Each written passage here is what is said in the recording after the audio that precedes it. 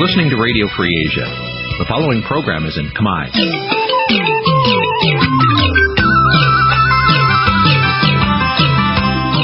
នេះជាកម្មវិធីផ្សាយវិទ្យុអាស៊ីសេរីនេះជាកម្មវិធីផ្សាយរបស់ Vithu Azisari ជាភាសាខ្មែរវិទ្យុអាស៊ីសេរីសូមស្វាគមន៍លោកអ្នកនាងទាំងអស់ពីរដ្ឋធានី Washington នៃសហរដ្ឋអាមេរិក បាទពីរដ្ឋធានី Washington ខ្ញុំបាទតាំងសារដាសូមជម្រាបសួរលោកអ្នកនាងកញ្ញាអ្នកស្ដាប់វិទ្យុអាស៊ីសេរីទាំងអស់ជាទីមេត្រីយើងខ្ញុំសូមជូនកម្មវិធីផ្សាយសម្រាប់យប់ថ្ងៃសៅរ៍11រោចខែចេសឆ្នាំចសម្រិតស័កពុទ្ធសករាជ2562ត្រូវនៅថ្ងៃទី9ខែមិថុនាគ្រិស្តសករាជ2018ជាដំបូងនេះសូមអញ្ជើញលោកអ្នកនាងស្ដាប់ព័ត៌មានប្រចាំថ្ងៃ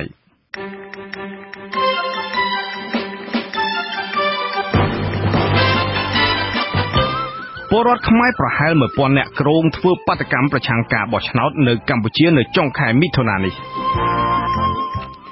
ពលរដ្ឋខ្មែរនៅអាមេរិកនាំគ្នាធ្វើពិធីបណ្ដេញឧបទ្រពចង្រៃជូនលោកកឹមសុខាគណៈបកខ្មែររួបរวมជាតិសម្រាប់ជ្រើសរើសយកលោកញឹកប៊ុនឆៃឲ្យដឹកនាំបកឡើងវិញបសសហៅក្រុមអ្នកការពារសិទ្ធិកម្មករឲ្យចូលរួមស្ដាប់ការបំភ្លឺករណីគ្រោះថ្នាក់ការងាររបស់កម្មករ រួមនឹងព័ត៌មានមួយចំនួនទៀត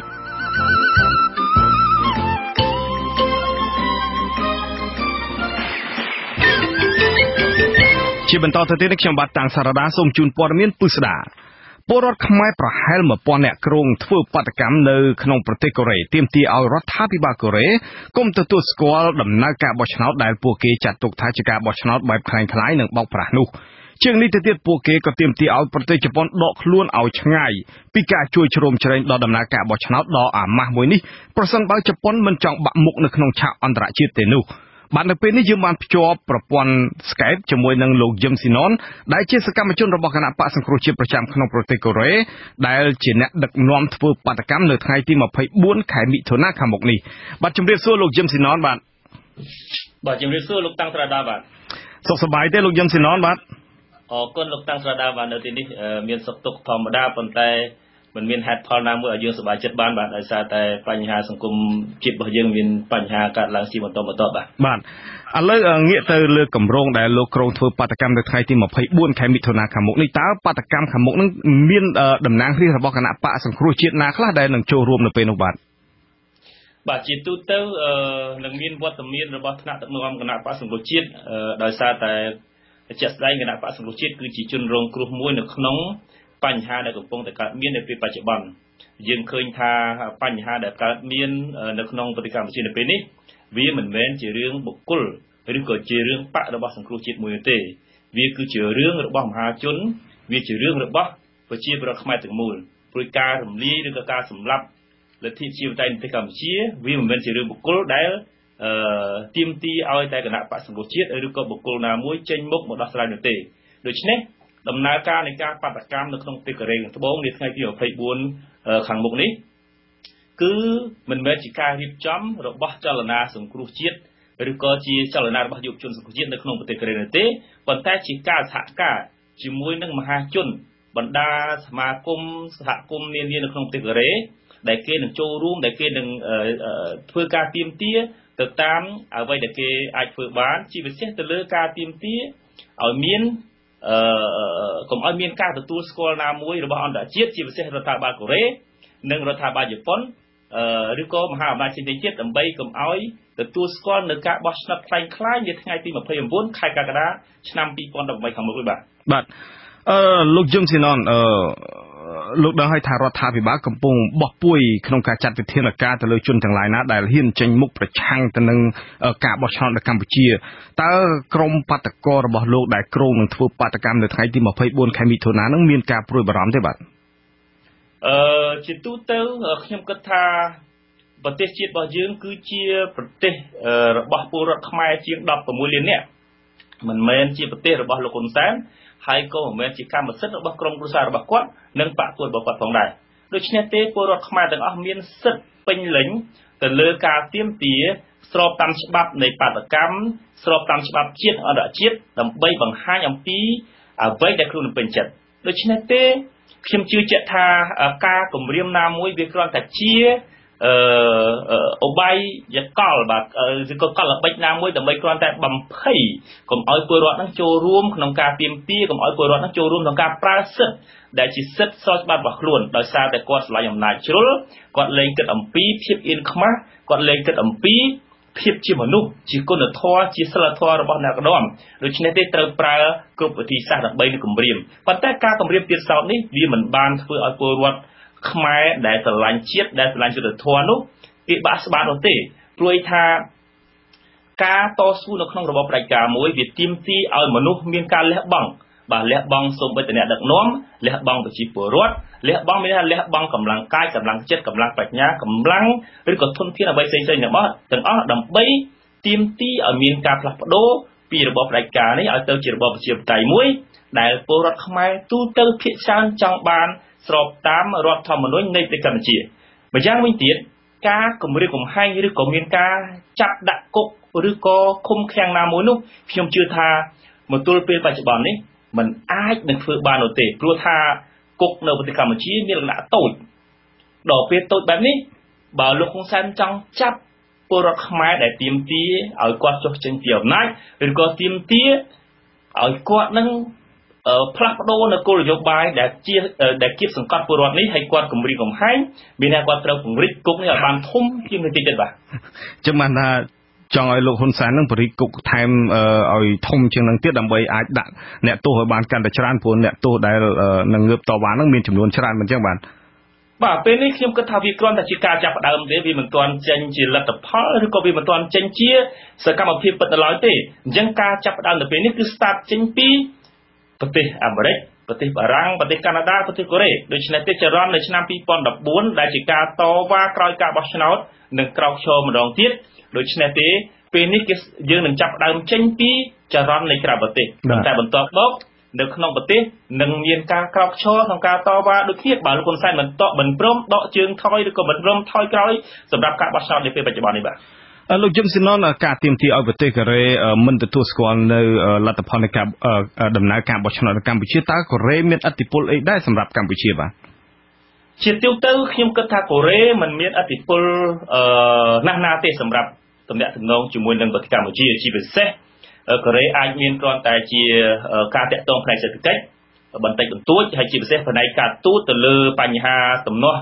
ឧបទ្វីបកូរ៉េខាងត្បូងជាមួយនឹងកូរ៉េខាងជើងដោយសារតែកូរ៉េខាងត្បូងកូរ៉េខាងត្បូងក៏ត្រូវការការគាំពៀឬការគ្រប់គ្រងណាមួយនៃការសម្រេចចិត្តនៅការដោះស្រាយបញ្ហាកូរ៉េខាងត្បូងជាមួយកូរ៉េខាងជើងពីកម្ពុជាផងដែរប៉ុន្តែកូរ៉េខាងត្បូងនេះគឺជាប្រទេសមួយដែលប្រកាន់ប្រជាធិបតេយ្យរបបជាតៃនេះឯង បានជំរុញឲ្យពលរដ្ឋខ្មែរដែលកំពុងតែរស់នៅកូរ៉េនេះមានការភ្ញាក់រលឹកមានការសិក្សាមានការយល់ច្បាស់អំពីអ្វីទៅដែលគេហៅថារបបប្រជាធិបតេយ្យដូច្នេះទេបើកូរ៉េជាប្រទេសមួយដែលប្រកាន់នៅរបបប្រជាធិបតេយ្យហើយកូរ៉េព្រមទទួលស្គាល់លទ្ធផលការបោះឆ្នោតមួយដែលคล้ายคล้ายការបោះឆ្នោតមួយដែលគ្មានបពប្រឆាំងចូលរួមនោះហើយកូរ៉េមិនបានបញ្ជាក់អំពីថាអ្វីទៅជា ប្រទេសដែលប្រកាន់ជាប់នៅរបបជាប្រទេសនោះទេដូច្នេះការទៀមទីឲ្យកូរ៉េក្តីជប៉ុនឬក៏អាមេរិកមហាអំណាចផ្សេងៗទៀតក្នុងការកុំឲ្យទទួលស្គាល់ឲ្យទាត់ចោលឬក៏ឲ្យលោកហ៊ុនសែនដកខ្លួនចេញពីការបោះឆ្នោតនេះគឺជាកត្តាមួយដ៏សំខាន់សម្រាប់បង្ហាញថាមហាអំណាចឬក៏ប្រទេសដែលប្រកាន់របបជាបតៃនេះត្រូវ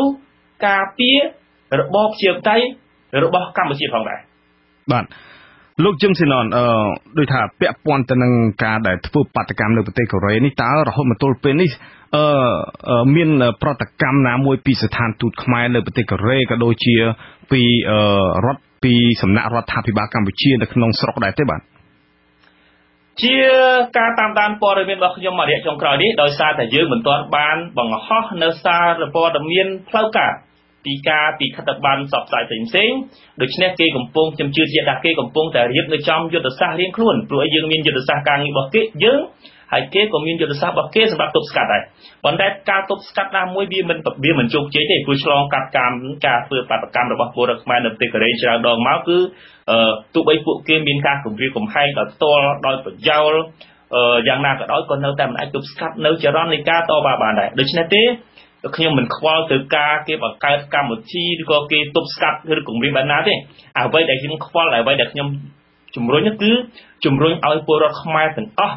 ដែលបានមករស់នៅប្រទេសកូរ៉េដែលបានមកឃើញប្រទេសជាបតៃមួយនេះដែលបានលៀងជំរះនៅខួរក្បាលពីអតីតកាលដែលដានជាប់ទៅដោយភាពភ័យខ្លាចដានជាប់ដោយភាពកខ្វក់ល្អកខ្វល់គេថាកខ្វក់នោះបានបំពេញ ចូលវិញនៅភាពស្អាតស្អំនៅសិទ្ធិសេរីភាពនៅការយល់ដឹងដ៏ពេញលេញនៃ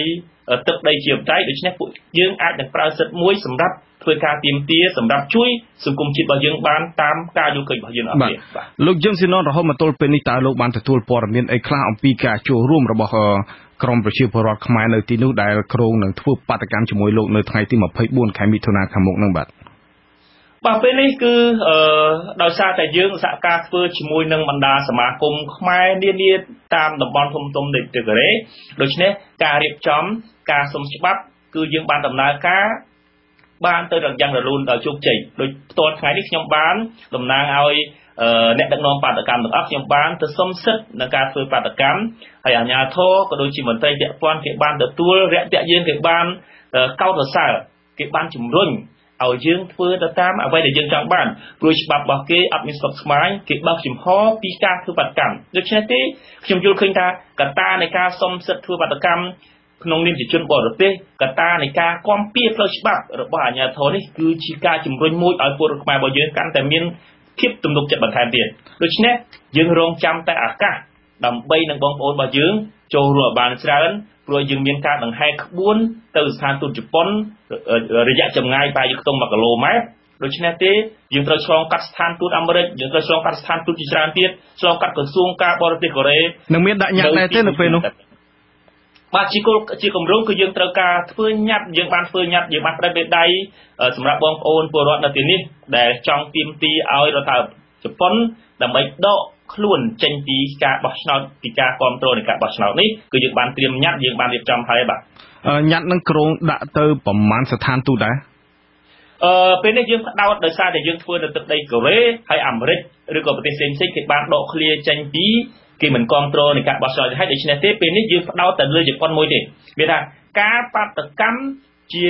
ទ្រង់ទាយធំនៅពេលនេះយើងធ្វើនៅកន្លែងដែលមិនទាន់ដង្ហែនោះគឺយើងផ្ដោតទៅលើ ការបង្ហាញនៅមតិការយល់ឃើញការប្រឆាំងនៃការបោះឆ្នោតបូករួមនឹងការទៀមទីឲ្យរដ្ឋាភិបាលកូរ៉េក៏ដូចជាមហាអំណាចផ្សេងផ្សេងដកខ្លួនចេញពីការបោះឆ្នោតបន្ថែមទៀតហើយចំណុចចុងក្រោយគឺយើងបន្តទៅការយកញត្តិព្រោះយើងគិតថាទីមួយប្រទេសជប៉ុនគឺជាប្រទេសមួយដ៏ស្ងប់ស្ងាត់ប្រទេសជប៉ុនគឺជាប្រទេសមួយដែលជួយពលរដ្ឋខ្មែរជួយប្រទេសខ្មែរច្រើនជាងគេដូច្នេះទេយើងអត់ចង់ឲ្យមានប៉ះពាល់ឬក៏ប៉ះទង្គិច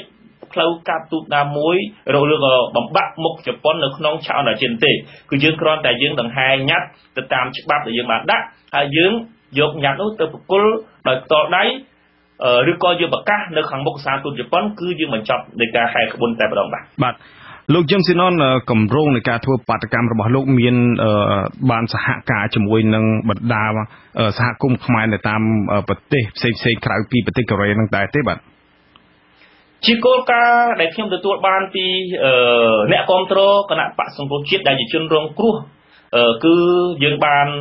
ជជែកគ្នាដែរយើងបានពិភាក្សាគ្នាយើងបានសហការគ្នាក្នុងការពំនាំនៅគោលការណ៍រួមមួយគឺការប្រឆាំងនៃការបោះឆ្នោតនាថ្ងៃ28 9ខែកក្កដាខាងមុខនេះដោយយើងដោយលោកតាំងសារបានជៀបស្រាប់ហើយថាកាលពីថ្ងៃទី1 គឺមានអ្នកគ្រប់គ្រងយើងប្រឆាំងនៅធ្វើធ្វើបាតកម្មប្រឆាំងនៅមុខសាទូតជប៉ុននៅ UN ហើយថ្ងៃទី16ឬក៏ថ្ងៃ22នេះគឺយើងគឺខាងអឺរ៉ុបគឺគេចាប់ដើមធ្វើកម្មវិធីបន្តទៀតដូច្នេះទេនៅកូរ៉េគឺយើងធ្វើនៅថ្ងៃទី24នេះបាទបាទលោកយឹមស៊ីណតជាចុងក្រោយតើលោកមានអ្វីបន្ថែមដែរទេបាទបាទអរគុណខ្ញុំអឺពិតជាគ្រប់គ្រងនៅការជ្រើសរើសយកយុទ្ធសាស្ត្រ នៃការបញ្ចូលរួមឬក៏មិនធ្វើតាមការចង់បានរបស់របស់លោកហ៊ុនសែនក្នុងការឲ្យគណៈបកសង្គ្រោះជាតិក្រោយការរំលាយក្រោយការបង្កកសិទ្ធិរបស់អ្នកតំណាងរាស្ត្រដែលជាតំណាងឲ្យពលរដ្ឋ3លាននាក់អឺមិនឲ្យចូលរួមមកឆ្នោតហើយពេលនេះបានជ្រើសយកយុទ្ធសាស្ត្រមួយគឺការតតាំងការប្រយុទ្ធស្មើការប្រយុទ្ធជាមួយនឹងរបបផ្ដាច់ការប្រឆាំងនឹងការបោះឆ្នោតពេលនេះគឺខ្ញុំគ្រប់គ្រងព្រោះយើងគិតខ្ញុំគិតថាបើ ជាដំណោះស្រាយរយៈជាអន្តរកាលសម្រាប់ប្រទេសកម្ពុជាជាក់ស្ដែងណាស់គណៈបកសង្គ្រោះជាតិគួរតែរៀបចំឬក៏ចរចាក្នុងរូបភាពណាមួយដើម្បីចូលរួមបោះឆ្នោតដើម្បីបានកៅអីបានសម្លេងខ្លះដើម្បីធ្វើការដូចដើមធ្វើឲ្យតំណាងរាស្ត្រមានប្រាក់ខែធ្វើឲ្យសកម្មជនមានធ្វើសកម្មភាពបានដូចដើមប៉ុន្តែនេះវាគ្រាន់តែជា ដំណោះស្រាយជាអន្តរកាលមួយសម្រាប់កម្ពុជាប៉ុន្តែបើសិនចង់ឲ្យកម្ពុជាមានដំណោះស្រាយមួយសម្រាប់ជាតិវែងឆ្ងាយទៅមុខទៀតគឺត្រូវការជ្រើសរើសផ្លូវដើម្បីតវ៉ាប្រយុទ្ធប្រឆាំងជាមួយនឹងរបបផ្ដាច់ការនេះពេលនេះពេលនេះគឺជាកលៈទេសៈមួយដ៏ល្អបំផុតសម្រាប់ប្រជារដ្ឋខ្មែរដើម្បីងើបក្រោកឈរទាំងក្នុងនិងក្រៅដើម្បីឲ្យអន្តរជាតិវាយលោកហ៊ុនសែនឲ្យទ្រាំខ្លួនបន្តទៀតដើម្បីយើងមានឱកាស ទទួលជ័យនេះនាពេលនាពេលអនាគតបាទដូច្នេះខ្ញុំសូមសំណូមពរឲ្យបងប្អូនពេលនេះនៅក្នុងប្រទេសរេនបងបាទគ្រប់និន្នាការនយោបាយបងប្អូនដែលស្រឡាញ់ជាតិដែលស្រឡាញ់យុទ្ធធម៌សូមមេត្តាចូលរួមឲ្យបានច្រើនផងផ្លូវដង្ហែយើងធំណាស់ក្បួនដង្ហែយើងក៏មានភាព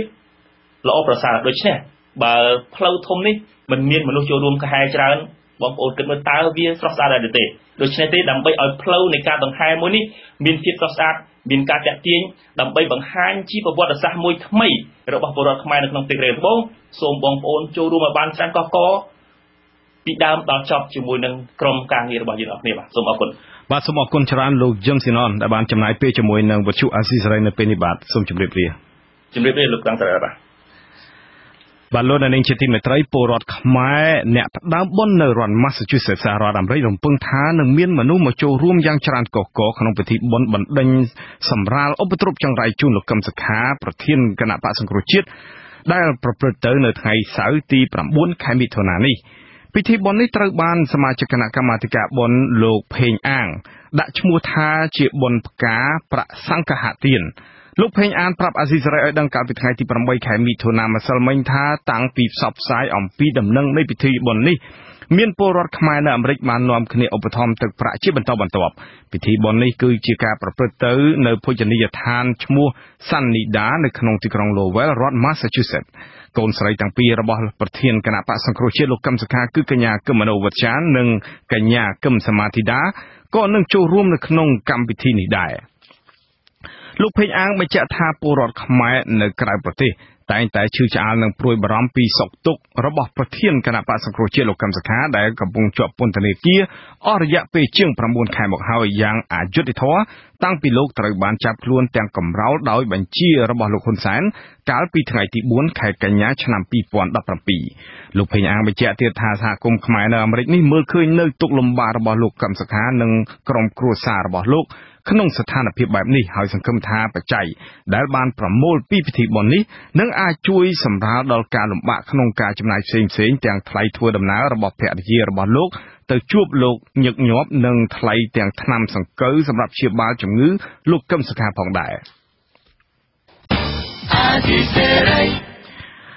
បលូននឹងជាទីមេត្រីគណៈបកផ្នែករូបរំជាតិនៅតែបន្តគ្រប់គ្រងឲ្យលោកញឹកប៊ុនឆៃដឹកនាំគណៈបកនេះតទៅទៀត។ មន្ត្រីគណៈបកសង្គ្រោះជាតិយល់ថាការដែលលោកញឹកបញ្ឆៃអាចនៅក្រៅឃុំដឹកនាំគណៈបកបានគឺមានតែបើកដៃមកពីខាងគណៈបកកណ្ដាលអំណាចដើម្បីឲ្យលោកញឹកបញ្ឆៃមកលំអប្រជាធិបតេយ្យបែបคล้ายៗដែលគណៈបកនេះកំពុងតែរៀបចំបន្លំភ្នែកពលរដ្ឋនិងអន្តរជាតិតែប៉ុណ្ណោះការលើកឡើងបែបនេះគឺក្រោយពីគណៈបកខ្មែររួបរวมជាតិ បានធ្វើសម័យរបស់ខ្លួននៅផ្ទះរបស់លោកញឹកបញ្ឆៃស្ថិតនៅក្នុងសង្កាត់ជ្រោយចង្វាក្រុងភ្នំពេញនៅព្រឹកថ្ងៃទី9ខែមិថុនាសម្រាប់ឲ្យលោកញឹកបញ្ឆៃធ្វើជាប្រធានបកនេះដដែលការប្រកល់ជោគវាសនាគណៈបកផ្នែករួមរួមជាតិឲ្យលោកញឹកបញ្ឆៃដឹកនាំនេះធ្វើឡើងក្រោយពេលដែលលោកត្រូវបានតុលាការក្រុងភ្នំពេញកាលពីថ្ងៃទី1ខែឧសភាកន្លងទៅនេះដោះលែង មន្ត្រីឃ្លាំមើលការបោះឆ្នោតរបស់អង្គការ Conference លោកកនស្វាងអះអាងថាករណីលោកញឹកប៊ុនឆៃគឺមិនទាន់មានការចាប់ប្រកាន់ជាផ្លូវការពីតុលាការនោះទេ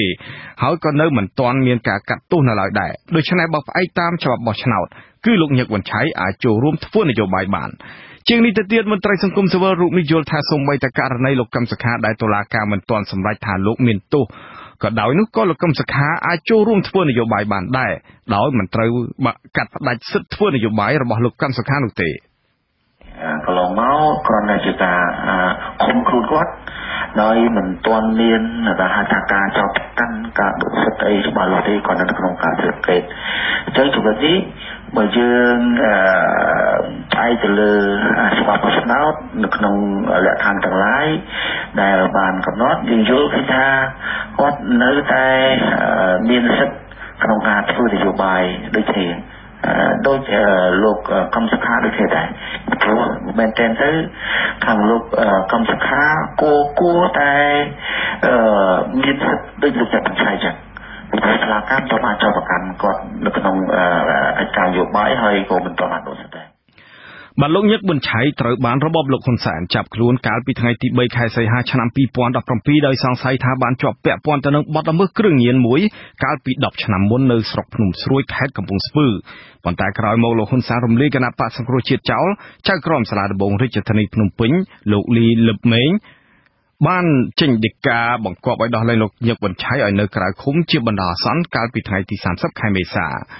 អាស៊ីសេរីមិនអាចតាក់ទងលោកញឹកមិនឆៃដើម្បីសួរពីបញ្ហានេះបន្ថែមបានទេ កាលពីថ្ងៃទី9ខែមិថុនានេះមន្ត្រីជាន់ខ្ពស់នៃគណៈបកសង្គ្រោះជាតិលោកហ៊ីងសុកសានយល់ថាការដោះលែងនឹងលើកបន្ទប់លោកញឹកមិនឆៃឲ្យដឹកនាំគណៈបកផ្នែករួមរួមជាតិជាថ្មីនេះ គឺមានបើកមានការបើកភ្លើងខៀវពីគណៈបកប្រជាជនកម្ពុជា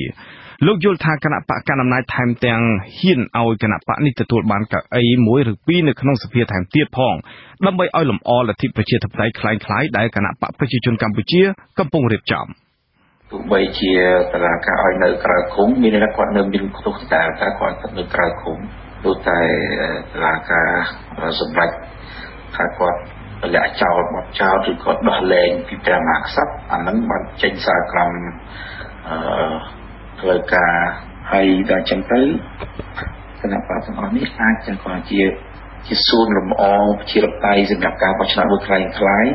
ដែលគេអាចឲ្យអាសនៈមួយពីរដើម្បីឲ្យឃើញមើលទៅថាជាបហុបក គណៈបកផ្នែករួបរวมជាតិរបស់លោកញឹកមិនឆៃគឺជាគណៈបកមួយក្នុងចំណោមគណៈបកទាំង20ដែលចូលរួមប្រគល់ប្រជែងការបោះឆ្នោតថ្ងៃទី29ខែកក្កដាខាងមុខប្រធានចលនាសង្គ្រោះជាតិលោកសំរងស៊ីហៅគណៈបកចាស់និងគណៈបកថ្មីដែលគ្មានសម្លេងឆ្នោតនៅក្នុងសភាគឺជាគណៈបកអំពិលអំពែកដែលចូលរួមការបោះឆ្នោតនេះគ្រាន់តែជាការលម្អឲ្យគណៈបកកណ្ដាលអំណាចតែប៉ុណ្ណោះអាស៊ីសេរី បានលោកនៅនាងជាទីមេត្រីព័ត៌មានដាច់ដライមួយទៀតវិញបេឡាជារបបសន្តិសុខសង្គមហៅកាត់ថាបសសបានអញ្ជើញសហព័ន្ធសហជីពសមាគមនិងអង្គការដែលធ្វើការផ្ដោតទៅលើសិទ្ធិការងារដើម្បីចូលរួមស្ដាប់ការបំភ្លឺលើសេចក្តីជូនដំណឹងរបស់បសសពាក់ព័ន្ធទៅនឹងអត្តន័យនៃគ្រោះថ្នាក់ការងាររបស់កម្មករគម្រោងជួបប្រជុំនេះបន្ទាប់ពីក្រុមការពារសិទ្ធិកម្មករបានរួមគ្នារិះគន់ចំពោះបសសដែលធ្វើឲ្យប៉ះពាល់ឬយល់ច្រឡំអំពីអត្តន័យនៃគ្រោះថ្នាក់ការងារហើយនាំឲ្យបាត់បង់ផលប្រយោជន៍សំខាន់សំខាន់របស់កម្មករនិយោជិតលោកវ៉ែនសុមិតរាយការណ៍ព័ត៌មាននេះបេឡាជាតិរបបសន្តិសុខសង្គមនឹងធ្វើការបកស្រាយបំភ្លឺលើសេចក្តីជូនដំណឹងរបស់ខ្លួនចុះថ្ងៃទី17ខែឧសភាកន្លងទៅពាក់ព័ន្ធនឹងបញ្ហាគ្រោះថ្នាក់ការងាររបស់កម្មករនៅថ្ងៃទី11ខែមិថុនាសប្តាហ៍ក្រោយអនុប្រធានសហព័ន្ធសហជីពកម្មករចំណីអាហារនិងសេវាកម្មអ្នកស្រីអ៊ូទេផលីនឲ្យដឹងថាក្រុមអ្នកការពារសិទ្ធិកម្មករ និងកម្មករផ្ទាល់ពិតជាមានការបារម្ភចំពោះសេចក្តីជូនដំណឹងរបស់បសសកន្លងមកព្រោះថាករណីកម្មកររងគ្រោះថ្នាក់ការងារនិងករណីកម្មករដួលសន្លប់កើតឡើងច្រើនប៉ុន្តែបែរជាត្រូវបានចាត់ទុកថាជាបញ្ហាសុខភាពផ្ទាល់ខ្លួននោះពួកគាត់នឹងបាត់បង់នូវផលប្រយោជន៍សំខាន់សំខាន់ដែលខ្លួនត្រូវទទួលបានស្របតាមច្បាប់អ្នកស្រីចាត់ទុកការអញ្ជើញទៅស្ដាប់ការបំភ្លឺនេះគឺជារឿងល្អទោះជាយ៉ាងណា អ្នកស្រីនៅតែមានចំហ ចង់ឲ្យបសសលុបចោលសេចក្តីជូនដំណឹងនេះវិញដោយប្រើប្រាស់ឡើងវិញនៅនិយមន័យគ្រោះថ្នាក់ការងារដែលមានចែងក្នុងច្បាប់ស្តីពីការងារកន្លងមក។ វាជាការល្អនៅពេលដែលបសសព្យាយាមចង់បំភ្លឺឲ្យខាងអ្នកប្រើប្រាស់បសសហ្នឹងបានយល់ហើយអ្វីដែលយើងបារម្ភខ្លាំងនោះគឺនៅពេលដែលសេចក្តីជំនុំរបស់បសសចេញមកខ្លីវាធ្វើឲ្យអ្នកប្រើប្រាស់នៅខាងក្រោមមូលដ្ឋានដែលអនុវត្តផ្ទាល់មួយមន្ត្រីរបស់បសសហ្នឹងក៏អាចធ្វើឲ្យមានការភ័ន្តច្រឡំដែរព្រោះសេចក្តីជូនដំណឹងហ្នឹងអត់មានការបញ្យល់ឲ្យបានច្បាស់ពេញលេញ អាស៊ីសេរីមិនអាចសុំការឆ្លើយតបពីអ្នកនាំពាក្យបេឡាជាតិរបបសន្តិសុខសង្គមបសសលោកជាវប៊ុនរិទ្ធបានទេនៅថ្ងៃទី9ខែឧសភាដោយដំបូងលោកប្រាប់ថាជាប់រវល់និងមិនទាន់ដឹងអំពីការកោះអញ្ជើញនេះអាស៊ីសេរីក៏បានព្យាយាមតាក់ទងទៅលោកនៅពេលក្រោយទៀតដែរប៉ុន្តែលោកមិនទទួលទូរស័ព្ទចំណែកឯលេខមន្ត្រីដែលដាក់លើលិខិតអញ្ជើញនោះក៏មិនលើកទូរស័ព្ទដែរកាលពីថ្ងៃទី17ឧសភាកន្លងទៅ បេនឡាជាតិរបបសន្តិសុខសង្គមបសសនៃក្រសួងកាងារបានចេញសេចក្តីជូនដំណឹងមួយដល់នយោជិកឬម្ចាស់សហគ្រាសគ្រឹះស្ថាន និងកម្មករនយោជិកថារាល់ស្ថានភាពរបស់កម្មករនយោជិកដែលមានអាការៈខ្សោយវិលមុខទន់ដៃទន់ជើងញ័រទ្រូងពិបាកដកដង្ហើម និងថប់អារម្មណ៍ដែលបណ្ដាលមកពីខ្វះជាតិស្ករក្នុងឈាម ឬខ្វះសារធាតុអ៊ីយ៉ុងក្នុងឈាម មានដូចជាកាល់ស្យូម សូឡូមជាដើមនោះបេនឡាជាតិរបបសន្តិសុខសង្គមបសសចាត់ទុកថាជាបញ្ហាសុខភាពផ្ទាល់ខ្លួនរបស់បុគ្គលមិនមែនបណ្ដាលមកពីការងារឬបរិយាកាសកន្លែងធ្វើការនោះទេហើយដូចនេះកម្មករនយោជិកទាំងអស់ត្រូវទទួលការព្យាបាលនិងថែទាំវិទ្យាសាស្ត្រក្រោមរបបសន្តិសុខសង្គមផ្នែកថែទាំសុខភាពវិញបេនឡាជាតិរបបសន្តិសុខសង្គមបសសចាត់ទុកថាជាគ្រោះថ្នាក់ការងារ លុះត្រាតែក្នុងករណីមានកម្មករនយោជិកសន្លប់ច្រើនអ្នកឬសន្លប់តតគ្នា នៅក្នុងសហគ្រាសឬគ្រឹះស្ថានដែលបណ្ដាលមកពីបរិយាកាសខាងក្នុង និងខាងក្រៅឬការតានតឹងអារម្មណ៍ភ័យស្លន់ស្លោតតគ្នាជាដើមបេនឡាជាតិរបបសន្តិសុខសង្គមបសសបំភ្លឺដោយអះអាងថាសេចក្តីជូនដំណឹងនេះមានគោលបំណងធ្វើឲ្យកាន់តែងាយស្រួលចំពោះកម្មករនយោជិក ពេលមានបញ្ហាសុខភាពក្នុងការទទួលសេវាព្យាបាលនិងថែទាំសុខភាព ដោយពុំចាំបាច់ជូនដំណឹងអំពីហានិភ័យការងារឡើយស្ថាប័ននេះបញ្ជាក់ជាថ្មីថាកម្មករនយោជិកដែលមានបញ្ហាសុខភាព សន្លប់ជាបុគ្គល និងសន្លប់ច្រើនអ្នកទោះជាពាក់ព័ន្ធនឹងការងារឬមិនពាក់ព័ន្ធនឹងការងារក្តីក៏ពួកគេនៅតែទទួលបានសេវាព្យាបាលនិងថែទាំវិទ្យាសាស្ត្រដោយឥតបង់ថ្លៃ ពីមូលដ្ឋានសុខាភិបាលដែលបានចុះកិច្ចព្រមព្រៀងជាមួយបេឡាជាតិរបបសន្តិសុខសង្គមដដែលការចេញសេចក្តីជូនដំណឹងនេះបណ្ដាលឲ្យក្រុមអ្នកការពារសិទ្ធិកម្មកររួមគ្នារិះគន់យ៉ាងខ្លាំងពួកគេចាត់ទុកថាសេចក្តីជូនដំណឹងធ្វើឲ្យបាត់បង់ផលប្រយោជន៍សំខាន់សំខាន់មួយចំនួនក្នុងករណីពួកគាត់មានបញ្ហាសុខភាពបណ្ដាលមកពីគ្រោះថ្នាក់ការងារហើយត្រូវបានបេនឡាជាតិរបបសន្តិសុខសង្គមចាត់ទុកថាជាបញ្ហាសុខភាពផ្ទាល់ខ្លួននោះ អតីតសមាជិកកោជបដែលលាលែងពីតំណែងក្រោយរឿងនយោបាយតានតឹងនិងជាប្រធានសហភាពសហជីពកម្ពុជា លោករងឈុនដែលបានចេញមុខរិះគន់លើសេចក្តីជូនដំណឹងរបស់បសសនេះក៏ត្រូវបានបសសចេញលិខិតព្រមានប្តឹងទៀតផងប៉ុន្តែលោកមិនមានការបារម្ភឡើយរីឯប្រធានសម្ព័ន្ធសហជីពប្រជាធិបតេយ្យកម្មករកាត់ដេរកម្ពុជាស៊ីខាឌូលោកអាតធុនមានប្រសាសន៍ថាលោកមិនទាន់បានឃើញលិខិតអញ្ជើញ និងមិនបានដឹងអំពីគោលការណ៍លម្អិតរបស់បសសឡើយទោះជាយ៉ាងណាក្តីលោកយល់ថាការហៅក្រុមអ្នកការពារសិទ្ធិការងារកម្មករទៅស្ដាប់ការបំភ្លឺនេះជារឿងល្អដែរដើម្បីឲ្យដឹងច្បាស់ថាតើបសសមានមូលហេតុអ្វីខ្លះសមរម្យនិងមិនសមរម្យការដែលធ្វើបរិវិនិច្ឆ័យថានឹងគ្រោះថ្នាក់ការងារឬក៏មិនមែនគ្រោះថ្នាក់ការងារខ្ញុំគិតថាការចេញ លឿនពេកបែបហ្នឹងគឺវាធ្វើឲ្យខាតកម្មករទេខាតខាតយ៉ាងម៉េចក្នុងករណីដែលរកឃើញថាអាហ្នឹងវាមូលហេតុហ្នឹងវាមកពីក្រុមហ៊ុនឬក៏មូលហេតុដែលសន្លប់ទាំងអស់យើងដឹងថាភាគច្រើនមកពីខាងក្រុមហ៊ុនវាជាគ្រោះថ្នាក់ការងារទៅហើយហើយបើសិនជាចេញបរិវិនិច្ឆ័យវាអាចក្រុមហ៊ុននឹងបកស្រាយយកដូចខ្លួនហ្នឹងទី1ទី2ក្នុងករណីក្រុមហ៊ុនខ្លះដែលគាត់មិនមែនជាសមាជិកបសសហ្នឹងឮថាសន្លប់អត់មែនជាគ្រោះថ្នាក់ការងារហ្នឹងប្រហែលជានឹងមិនឲ្យលុយកម្មករមកព្រោះកម្មករទៅរកប្តឹងណាព្រោះអត់មានសហជីពអត់មានអ្នកជួយគាត់ហើយអត់មានអ្នកបំភ្លឺផ្លូវច្បាប់ឲ្យផងហ្នឹងក្រុមហ៊ុនមានរំលោភច្បាប់ហ្នឹងគឺពិបាកដល់កម្មករតែម្ដងអញ្ចឹងយើងយើងខ្លាចបារម្ភអញ្ចឹងប៉ុន្តែឥឡូវនេះបើសិនជាគេស្វែងបំភ្លឺខ្ញុំគិតថាវាជារឿងល្អយើងនឹងចូលរួមបើសិនជាគេអញ្ជើញហើយយើងនឹងបញ្ជាក់ដូចគ្នាយកផ្លូវច្បាប់ទៅបញ្ជាក់ដូចគ្នាក្នុងករណីដែលជជែកគ្នាមិនត្រូវខ្ញុំគិតថានីតិវិធីគឺយើងអាចប្តឹងទៅតុលាការហើយតុលាការគេអាចបកស្រាយកាលពីថ្ងៃទី6ខែមិថុនាកន្លងទៅ សហព័ន្ធសហជីពសមាជិកនិងអង្គការដែលធ្វើការងារផ្ដោតលើសិទ្ធិការងារចំនួន20ស្ថាប័ននិងកម្មករនយោជិកជិត500នាក់បានចេញលិខិតរួមគ្នាមួយស្នើសុំឲ្យបសសលុបចោលសេចក្តីជូនដំណឹងរបស់ខ្លួនដែលចុះថ្ងៃទី17ខែឧសភានោះវិញ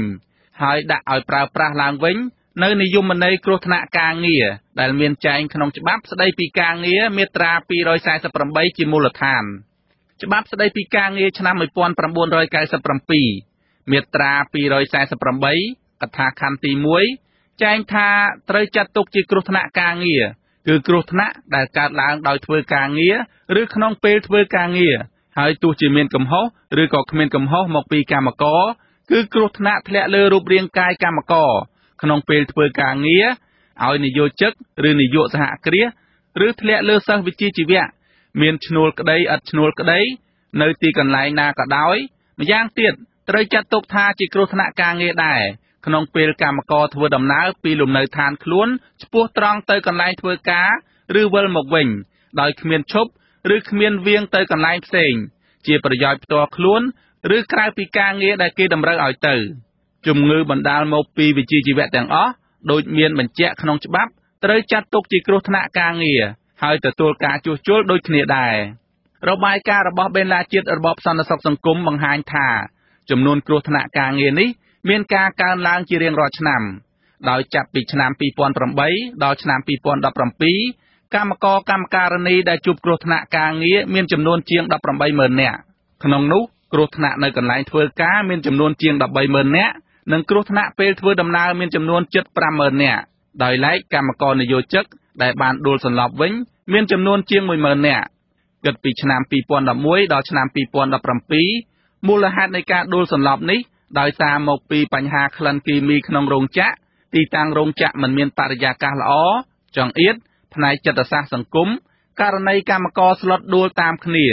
បញ្ហាមេកានិកស្របពេលសុខភាពកម្មករមានសភាពទន់ខ្សោយដោយសារការសម្រាកមិនគ្រប់គ្រាន់ ការហូបអាហារមិនទៀងទាត់ និងគ្មានសារធាតុចិញ្ចឹមគ្រប់គ្រាន់ខ្ញុំបាទវ៉ែនសុមេត អាស៊ីសេរីពីរដ្ឋធានី Washington បាទលោកនាងជាទីមេត្រីតើការប្រើប្រាស់បណ្ដាញអ៊ីនធឺណិតនិងសង្គម Facebook ដោយខ្វះការយល់ដឹងអាចបង្កគ្រោះថ្នាក់ដល់អ្នកប្រើប្រាស់ដូចម្តេចខ្លះបាទលោកនាងនឹងបានស្ដាប់សេចក្តីរាយការណ៍ពុស្វាអំពីរឿងនេះនៅក្រៅព័ត៌មានប្រចាំថ្ងៃនៅពេលបន្តិចទៀតអាស៊ីសេរី បាទកម្មកររោងចក្រវ៉ាសាន់ចំនួន25នាក់នៅខេត្តកំពង់ស្ពឺបានរងរបួសធ្ងន់និងស្រាលដោយសារគ្រោះថ្នាក់ចរាចរណ៍នៅវេលាម៉ោងជាង6ព្រឹកថ្ងៃទី9ខែមិថុនាសេចក្តីប្រកាសព័ត៌មានរបស់ក្រសួងការងារនិងបណ្ដុំបណ្ដាវិជ្ជាជីវៈឲ្យដឹងថាកម្មករដែលធ្វើដំណើរតាមឡានទៅរោងចក្រមានចំនួន30នាក់ក្នុងនោះ25នាក់បានរងរបួសក្នុងនោះចំនួន16នាក់របួសស្រាលហើយ9នាក់ផ្សេងទៀតរបួសធ្ងន់គ្រោះថ្នាក់ចរាចរណ៍នេះបាន កើតឡើងនៅលើផ្លូវជាតិលេខ4ចន្លោះគីឡូម៉ែត្រលេខ66 67ត្រង់ចំណុចភូមិត្រពាំងអត់ទឹកឃុំគិរីវ័នស្រុកភ្នំស្រួយខេត្តកំពង់ស្ពឺសេចក្តីប្រកាសព័ត៌មាននេះបន្តថាជនរងគ្រោះទាំងអស់ត្រូវបានទទួលសង្គ្រោះពីអាជ្ញាធរនិងបេឡាជារបបសន្តិសុខសង្គមហើយកំពុងសម្រាប់ព្យាបាលនៅមន្ទីរពេទ្យបង្អែកខេត្តកំពង់ស្ពឺក្រសួងការងារនឹងជួយដោះស្រាយករណីគ្រោះថ្នាក់ចរាចរណ៍តាមគោលការណ៍របបសន្តិសុខសង្គមរបស់បេឡាជាតិរបបសន្តិសុខសង្គម។ បានលោកនាងជាទីមេត្រីសកម្មជនដីធ្លីតំបន់បង្កក់ចំនួន3នាក់បានមកដល់សហរដ្ឋអាមេរិកតាមការអញ្ជើញរបស់សហគមន៍ខ្មែរមួយចំនួនដែលបានស្វែងរកការឧបត្ថម្ភដល់ក្រុមគ្រួសាររបស់អ្នកស្រីទេវនីដែលកំពុងជាប់ឃុំក្នុងពន្ធនាគារព្រៃសរនៅឡើយសកម្មជនដីធ្លីដ៏ឆ្នើមទាំង3នាក់នេះរួមមានអ្នកស្រីបើសោភា អ្នកស្រីបូឆាវី និងលោកច័ន្ទពុទ្ធិស័ក្តិ បាទនៅពេលនេះអ្នកទាំង3កំពុងតែមានវត្តមាននៅក្នុងបន្ទប់ផ្សាយផ្ទាល់របស់វិទ្យុអាស៊ីសេរីតែម្ដងបាទជំរាបសួរបាទបាទជំរាបសួរបងបាទហើយចុះតើរហូតមកទល់ពេលនេះដំណើររបស់អ្នកទាំង3មកដល់សហរដ្ឋអាមេរិកនេះបានលទ្ធផលជាផ្លែផ្កាអីយ៉ាងណាហើយហើយបានរយៈពេលប្រហែលថ្ងៃហើយនៅពេលនេះបាទ ចាសូមសភាមុនគេ ចាជាតិបឋមនឹងខ្ញុំសូមក្រាបថ្វាយបង្គំបដិជគុណគ្រប់ព្រះអង្គដែលមានវត្តមានស្ដាប់នៅវិទ្យុអាស៊ីសេរីហើយនឹងពុកម៉ែបងប្អូនដែលរស់នៅឯប្រទេសកម្ពុជាក៏ដូចជានៅឯសហរដ្ឋអាមេរិកនេះតើពួកខ្ញុំមកដល់ថ្ងៃនេះគឺមានរយៈពេល20ថ្ងៃហើយដែលតែចាប់ពីថ្ងៃដែលចាក់ចេញពីខ្មែរមកហើយពួកយើងបានមានការគ្រប់គ្រងពីបងប្អូនខ្មែរហ្នឹងនៅហ្វីឡាខ្លះនៅញូវយ៉កខ្លះ ហើយថ្ងៃនេះគឺយើងបានមកដល់ Washington DC ហើយល្ងាចនេះក៏មានការរៀបចំកម្មវិធីតិចតួចដើម្បីជួយរកការគ្រប់គ្រងពីបងប្អូនខ្មែរនៅនេះចា៎បាទអឺអឺបាទចំណែកលោកច័ន្ទពុទ្ធិស័កវិញនេះជាលើកទី1របស់លោកហើយដែលបានមកដល់សហរដ្ឋអាមេរិកមិនចឹងតើមានអារម្មណ៍យ៉ាងម៉េចដែរមកដល់ប្រទេសលោកសេរីជាលើកដំបូងដូច្នេះ អឺខ្ញុំមកដល់លើកទីនេះខ្ញុំហាក់ដូចជាមានអារម្មណ៍ថាកក់ក្ដៅហើយពោពេញទៅដោយសេរីភាពដោយសារតាមរយៈនៃការជួបនៅតាមបណ្ដាសហគមន៍និងការធ្វើដំណើរតាមផ្លូវសាធារណៈយើងឃើញថាប្រទេសនេះគឺពោពេញទៅដោយសុជីវធម៌សិលធម៌ការរស់នៅហើយជាប្រទេសពួកគាត់ទាំងអស់គ្នារស់នៅក្រោមនៃការគោរពច្បាប់បាទបាទហើយចុះអ្នកស្រីបូឆាវីវិញបាទ ចាខ្ញុំក៏មិនខុសពីលោកច័ន្ទពុទ្ធស័ក្តិដែរខ្ញុំបានមកដល់ទឹកដីសហរដ្ឋអាមេរិកនេះគឺមានអារម្មណ៍ថាដូចជីវិតយើងថ្មីយើងស្រស់ថ្លាចាហើយសារខ្ញុំមើលទៅដូចសភនភាពនៅប្រទេសមហាអំណាចនេះគឺប្រទេសគ្រប់លទ្ធិជាធិបតេយ្យនេះគឺមានស្ពានខ្នល់ស្វ័យស្វាត់ហើយមានដើមឈើដើមអីមានសត្វព្រៃសត្វអីមិនខុសពីខុសពីប្រទេសកម្ពុជាយើងណាចាហើយការគ្រប់សិទ្ធិគ្នាវិញទៅមកការធ្វើដំណើរហ្នឹងគឺបានល្អចា បាទអឺសុភាបើអ្នកស្រីបើសុភាតើអឺបេសកកម្មក្នុងការស្វែងរកការឧបត្ថម្ភដល់ក្រុមគ្រួសាររបស់អ្នកស្រីទេពនីរហូតមកទល់ពេលនេះតើបានលទ្ធផលជាផ្លែផ្កាអីយ៉ាងណាខ្លះដែរបាទអឺសម្រាប់លទ្ធផលជាផ្លែផ្កាគឺបានតិចតួចមែនតើដោយសារដឹងស្រាប់ហើយថាបងប្អូនខ្មែរនៅទីនេះគាត់ជួយ support ទៅលើ ស្ថានភាពនយោបាយវាតាមតឹងផងហើយមានការចូលរួមពីខាងសង្គ្រោះជាតិផងអីចឹងទៅ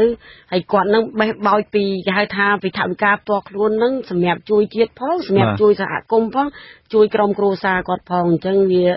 សម្រាប់មកលើកទី3នេះគឺពួកខ្ញុំបាន តែវាជារឿងល្អមួយដែលខ្ញុំបានជួបជាមួយពួកគាត់បាទចាអឺ អ្នកស្រីអាចរៀបរាប់បន្ថែមខ្លះបានទេអំពីក្រុមគ្រួសាររបស់អ្នកស្រីទេវនីរហូតមកដោយសារថាអ្នកស្រីទេវនីនឹងដូចថាមានការបែកបាក់ក្រុមគ្រួសារផងហើយខ្លួននឹងក៏ជាប់គុកផងហើយឮសូថាកូនកូនរបស់គាត់នឹងដូចថាមានជំងឺខាងផ្នែកអារម្មណ៍ផងរៀនមិនចូលអីចឹងតើអ្នកស្រីអាចរៀបរាប់បន្ថែមបានទេអំពីស្ថានភាពរបស់គាត់ចុងក្រោយនេះ ស្ថានភាពរបស់វ៉ានីចុងក្រោយនេះគឺយើងមើលឃើញថាទាំងគាត់ទាំងកូនគឺមានផលវិបាកមែនទែនព្រោះគាត់ធ្លាប់មានជំងឺប្រចាំកាយគេហៅថា allergy ចំមុះណាដល់ពេលនៅជាប់នៅក្នុងពន្ធនាគារហ្នឹងបរិយាកាសដែលវាមិនណោយផលហ្នឹងធ្វើឲ្យបញ្ហាចំមុះគាត់ហ្នឹងក៏ខ្ទុះឡើងវិញហើយសម្រាប់កូនពីមុនពេលដែលជាប់លើក ដំបូងពេលដែលជាប់ថ្មីថ្មីមានការគ្រប់គ្រងពីអង្គការសង្គមស៊ីវិលច្រើនទាំងការសិក្សារបស់កូនទាំងផ្ដល់ថវិកានិងការចំណាយទៅក្នុងពន្ធនាគារអីមកលើគាត់តែដល់ពេលមួយរយៈក្រោយនេះមានការផ្ដាច់ជំនួយខ្លះពី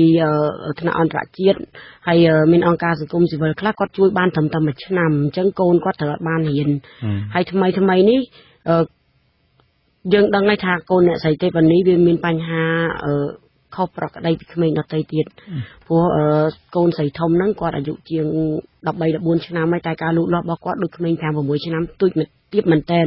ហើយដល់ពេលមានការវាយប្រហារពីខាងម្ដាយត្រូវជាប់ពន្ធនាគារហើយបាត់បង់នឹងភាពកក់ក្ដៅក្រុមគ្រួសារត្រូវបែកបាក់គ្នាផងទៅហើយគ្រួសារចេះតែអាសាជ្រោះគ្នាធ្វើឲ្យគាត់មានបញ្ហាអារម្មណ៍ច្រើនចាវាខុសពីក្មេងដទៃទៀតហើយចុះតើអ្នកស្រីដែលបានទៅសួរសុខទុក្ខអ្នកស្រីទេវនីបានញឹកញាប់ដែរទេបាទ ទៅសួរសុខទុក្ខញឹកញាប់ដែរគឺក្នុងមួយអាទិត្យគឺពួកយើងផ្លាស់ប្ដូរគ្នាទៅសួរទាំងចាស់ចាស់នៅក្នុងភូមិគាត់ចង់បដូរផ្លាស់គ្នាទៅសួរទៅម្នាក់ខ្លះមានបាយមានសឡមានហូបអីឆ្ងាញ់ឆ្ងាញ់យកទៅឲ្យហូបតែរយៈក្រោយដែលពួកយើងមកធ្វើសកម្មភាពនៅញូវយ៉កថ្ងៃមុននេះអឺនៅពន្ធនាគារត្រូវបានរឹតបន្តឹងសិទ្ធិសេរីភាពអ្នកដែលចូលទៅសួរសុខទុក្ខវ៉ានីបានចាអ្នកដែលសួរសុខទុក្ខវ៉ានីបានមានតែតកោដោយវ៉ានីឬម្ដាយគាត់ពួកគាត់ទេ ចាអ្នកដែលនៅក្នុងភូមិអត់អាចទៅសួរសុខទុក្ខបានដូចពីមុនទេចុះក្រុមសង្គមស៊ីវិលអីផ្សេងទៀតអឺនឹងក៏ធំបបាក់ក្នុងការសួរដោយសារទៅសុំច្បាប់ពីក្រសួងមហាផ្ទៃគេឲ្យបានចូលបានគេឲ្យចូលបានអញ្ចឹងឥឡូវហ្នឹងមានការរឹតបន្តឹងនៃការសួរសុខទុក្ខហើយមិនចង់ឲ្យអ្នកខាងក្រៅពំនាំព័ត៌មានឲ្យវ៉ានីមិនចង់ឲ្យវ៉ានីពំនាំមកបញ្ហារបស់ខ្លួនចេញមកក្រៅហើយបើពេលដែលគេធ្វើបែបនេះវ៉ានីរឹតតែទទួលសម្ពាធ ផ្នែកអារម្មណ៍ហើយនឹងគិតថាខ្លួនឯងនឹងអឺបបាក់មែនទែនទៅពេលដែលអត់បានជួបពេលដែលជួបពួកយើងម្ដងម្ដងគាត់តែងតែមានអារម្មណ៍បញ្ចេញមកប្រាប់ពួកយើងចឹងទៅគ្នាមានការសប្បាយចិត្តខ្លះតែដល់ពេលឥឡូវហ្នឹងគឺអត់តតែសោះសំបីតែពួកខ្ញុំក៏អឺលែងបានទទួលដំណឹងពីគាត់ថាគាត់យ៉ាងម៉េចយ៉ាងម៉េចហើយគឺស្ងាត់មែនទែនបាទលោកច័ន្ទលោកច័ន្ទពុទ្ធិស័កម្ដងថាតើលោកគិតថាសហគមន៍បង្កក់ដែល ដោយថាអ្នកស្រីទេពនីហើយនិងសកម្មជនដទៃទៀតតែងចេញមុខធ្វើការតវ៉ាទាមទារស្វែងរកដំណោះស្រាយបញ្ហាដីធ្លីនៅទីនោះនោះតើអឺសហគមន៍បង្កក់តមូនតើអាចជួយអីខ្លះដល់អ្នកស្រីទេពនីបាទបាទសម្រាប់សហគមន៍បង្កក់សម្រាប់សកម្មភាពនៃការតស៊ូមតិគាត់ត្រៀមចាំចូលរួម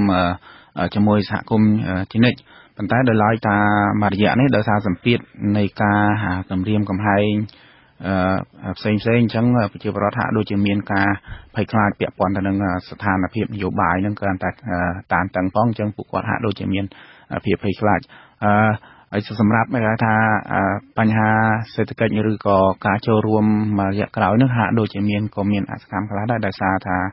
ដឹងហើយស្ថានភាពនៃការអភិវឌ្ឍតំបន់បង្កក់មានសភាពរ៉ាំរ៉ៃបាទ ច្រើនឆ្នាំជាង10ឆ្នាំមកហើយអញ្ចឹងវាពាក់ព័ន្ធនឹងបញ្ហាជីវភាពសេដ្ឋកិច្ចរបស់គាត់ហើយមុខរបរគឺត្រូវបានបាត់បង់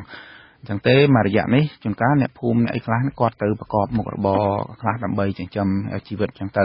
ហើយប៉ុន្តែក៏យើងនៅតែមានក្រុមការងាររបស់យើងហ្នឹងរៀបចំនៃរបៀបនៃការធ្វើការឬក៏របៀបនៃការតស៊ូមតិស្វែងរកការគ្រប់គ្រងក៏ដូចជាមានក្រុមការងារហើយក៏មានតំណាងរបស់យើងមួយចំនួនដែលកំពុងនៅស្រុកខ្មែរហ្នឹងដើម្បី ស្វែងរកការគ្រប់គ្រងនិងស្វែងរកការហៅថាជួយឧបត្ថម្ភផ្នែកសេដ្ឋកិច្ចនិងការតស៊ូមតិបាទអឺតើដូចថាអ្នកស្រីទេវនីជាប់ពន្ធនាគាររហូតមកទល់ពេលនេះគឺដោយសារតែមានការតវ៉ាឬក៏ការធ្វើយុទ្ធនាការថ្ងៃច័ន្ទពណ៌ខ្មៅអីហ្នឹងតើយុទ្ធនាការនេះអាចនឹងបន្តធ្វើអីឡើងវិញដែរទេឬក៏មួយក៏ភ័យខ្លាចហើយឈប់ធ្វើតែម្ដងអឺ និយាយទូរួមទៅយុទ្ធនាការថ្ងៃច័ន្ទពណ៌ខ្មៅអ្វីត្បិតតែมันមានសកម្មភាពប៉ុន្តែរូបភាពនៃថ្ងៃច័ន្ទពណ៌ខ្មៅនោះពួកយើងនៅតែថែរក្សារាល់ថ្ងៃច័ន្ទពួកពួកយើងនៅតែពាក់អាវពណ៌ខ្មៅតែឥឡូវក៏ពាក់អាវពណ៌ខ្មៅដែរតែពេលឥឡូវក៏ពាក់ដែរប៉ុន្តែខ្ញុំគ្រាន់តែបញ្ជាក់ថាយុទ្ធនាការថ្ងៃច័ន្ទពណ៌ខ្មៅជាវៀងនឹងការលាបពណ៌ផ្សេងផ្សេងគ្រាន់តែយើងបញ្ជាក់ថា យុទ្ធនាការថ្ងៃច័ន្ទពណ៌ខ្មៅហ្នឹងគឺគោលបំណងគឺទាមទារយុទ្ធធម៌ទាមទារសេរីភាពជូនមន្ត្រីអង្គការសង្គមស៊ីវិលក៏ដូចជាមន្ត្រីកោចបដែលគាត់ត្រូវបានគេឃុំឃាំងដោយភាពអយុត្តិធម៌នេះជាគោលបំណងហើយបើសិនជាពួកគាត់បានមានសេរីភាពហើយហើយក៏យើងនឹងឈប់ហើយយើងអត់មានធ្វើឲ្យមានគោលបំណងអីទេប៉ុន្តែដោយឡែក ស្ថានភាពនេះបានត្រូវបញ្ចប់ប៉ុន្តែវិលទៅរកអ្នកស្រីទេវនីទៅវិញនេះជាចេតនាមួយថាគុំគួនទៅលើក្រុមគ្រួសារក៏ដូចជាអ្នកស្រីទេវនីដែលគាត់មានសកម្មនៅក្នុងការពីយុទ្ធធរផលប្រយោជន៍ជូនសហគមន៍ហើយជាពិសេសទីមទាសិទ្ធិសេរីភាពនិងសេរីភាពក្នុងការបញ្ចេញមតិជូនជនរងគ្រោះអញ្ចឹងនេះជាការគុំគួនដូចខ្ញុំសូមបញ្ជាក់ទីអ្នកស្រីទេវនីធ្វើយុទ្ធនាការថ្ងៃច័ន្ទពណ៌ខ្មៅត្រូវគេចាប់ខ្លួននៅថ្ងៃទី15ខែកក្កដា បាទយកទៅរកបបត់ល្មើសអត់ឃើញដល់ទីទូគាត់ត្រឹមតែមួយសប្តាហ៍ ដូរបត់ចោលបាទបាទដូរក៏ដូរបត់ចោលបែរជាចោតទៅទៅលើថាគាត់នឹងដឹកនាំហិង្សាដោយចេតនាមានស្ថានទម្ងន់ទោសដែលប្រព្រឹត្តនៅខាងកើតផ្ទះលោកនាយករដ្ឋមន្ត្រីដែលតាំងពីឆ្នាំ2013ដែលកាលហ្នឹងពួកយើងទៅតែមានបាតដៃទទេបដាការជោគហ្នឹងទៅទៅសុំអការអន្តរាគមពីនាយករដ្ឋមន្ត្រីដើម្បីឲ្យដោះស្រាយបញ្ហាប៉ុន្តែបែរជាការសុំការអន្តរាគមបែរជាដាក់បន្ទុកដាក់បញ្ហាមកលើប្រជាពលរដ្ឋសហគមន៍ហើយជាពិសេសអ្នកស្រីទេវនីនៅពេលនេះបែរជាទទួលរងនៅបទចោទទាំងនោះមកលើគាត់រហូតដល់2ឆ្នាំកន្លះហើយនេះជាលើកទី3ហើយដែលគាត់ជាប់ពន្ធនាគារដោយសារតែការទីមទារោគយុទ្ធធរដំណោះស្រាយដីធ្លីហ្នឹងបាទមួយទៀតពាក់ព័ន្ធទៅនឹងបញ្ហានេះផងដែរដូចថា តាមព័ត៌មានដែលបានដឹងដូចអ្នកតំបីឡើងមកដល់សហរដ្ឋអាមេរិកនេះមានរងនឹងការចោទប្រកាន់ពីប្រព័ន្ធផ្សព្វផ្សាយរបស់លោកហ៊ុនសែនមួយចំនួនថា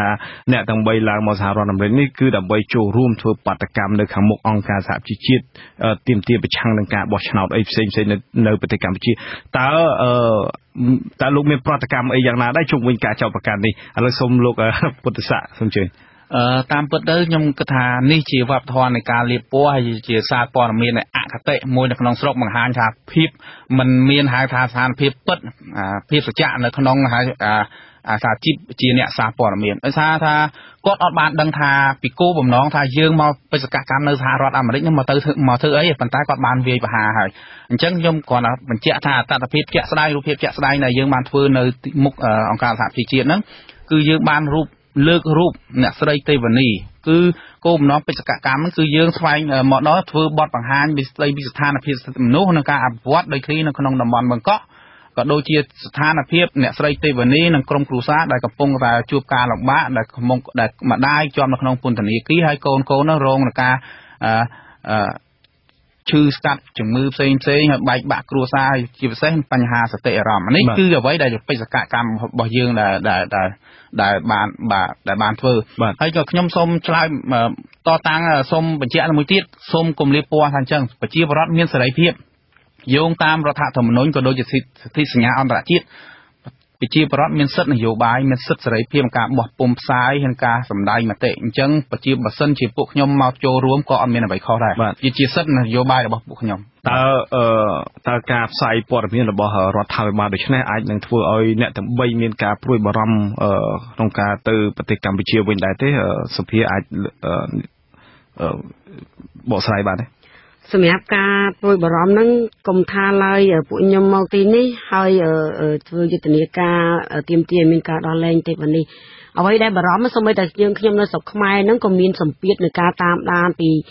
អាជ្ញាធរក្នុងភូមិអញ្ចឹងដែរសូម្បីតែរៀបចេញមកហ្នឹងក៏សួរដែរតែអាមេរិកធ្វើអីធ្វើអីហើយដោយព័ត៌មានដែលបានចុះផ្សាយអញ្ចឹងថាពួកខ្ញុំហ្នឹងបាតកម្មនៅស្រុកខ្មែរវាយបលីស្រុកខ្មែរបានមកវាយបលីនៅអាមេរិកប្រយ័ត្នជាប់គុក ខ្ញុំចង់ផ្ដាំថាធិតពិតទៅរូបភាពណាមួយក៏ពួកខ្ញុំមិនដែលគិតថាចង់ប្រើហិង្សាទៅលើសំណាក់អាជ្ញាធរដែរអត់ដែលបានវាយបលីមួយដៃផងជាប់គុកម្នាក់សិនម្ដងពីរដង5 6ខែម្នាក់យកទៅរាប់វាយបលីទៀតហ្នឹងឈឺដៃទួយទួយចាចាហើយដូចនិយាយចេញមកគេហៅថាមនុស្សដែលមិនទទួលខុសត្រូវខ្លួនឯងនិយាយគេហៅថាមនុស្សភ័យមនុស្សភ័យកំពុងតែភ័យរាល់សកម្មភាពរបស់ប្រជាពលរដ្ឋដែលនៅក្រៅប្រទេសនឹងកំពុងរកកិច្ចអន្តរាគមន៍ពីឆាកអន្តរជាតិដើម្បីឲ្យជួយបញ្ហាប្រជាពលរដ្ឋនៅប្រទេសកម្ពុជាគិតថាខ្លួនឯងគ្មានសមត្ថភាពហើយចេះតែធ្វើ